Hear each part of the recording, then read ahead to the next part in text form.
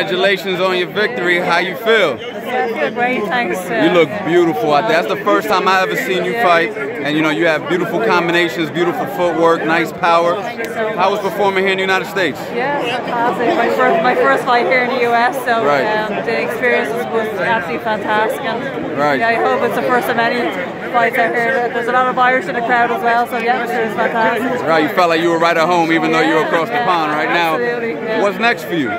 Yeah, I'm not sure. Um, I hope to be for a world title quite soon. Yeah, that's what Eddie Hearn said. I spoke to him. He said he wants to see you, you know, fight for a world title. Yeah. Um, you think you're ready for that step? I, I think I feel like I'm ready and definitely ready and willing to fight anyone. So You look sensational tonight. Thank you Thank you so very much. much for a great performance. you.